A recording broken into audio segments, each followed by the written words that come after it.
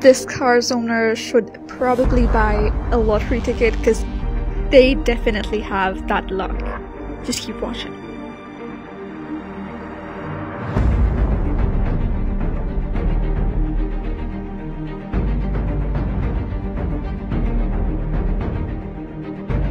Yeah, the car broke down.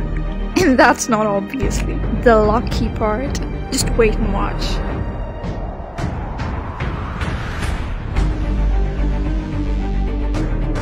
Did you notice the timing? The second the car caught fire, they had the fire truck passing by.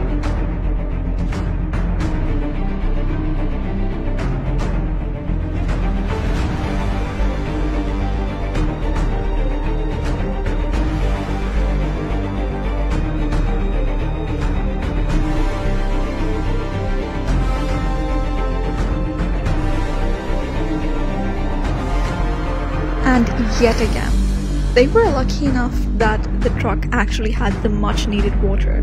Because it's not always that they're ready for such emergencies.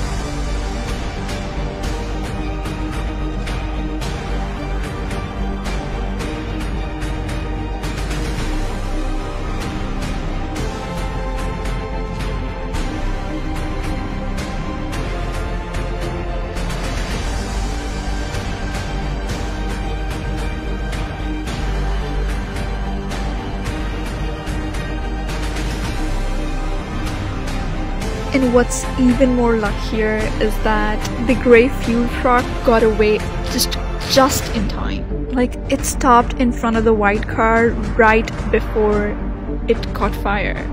And I mean that's such a great luck for all of them around. Cause it could have been a huge disaster.